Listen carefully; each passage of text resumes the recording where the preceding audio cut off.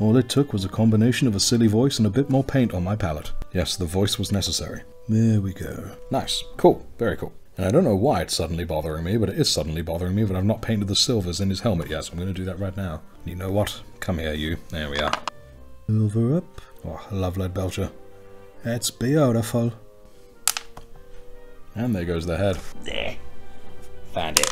Call me crazy, guys, but what if I stuck it to Blu Tack? Or I could just drop it again. There we go. Sometimes I don't know how I've managed to survive to the age I am now. Blessings of Nurgle. What else could it be?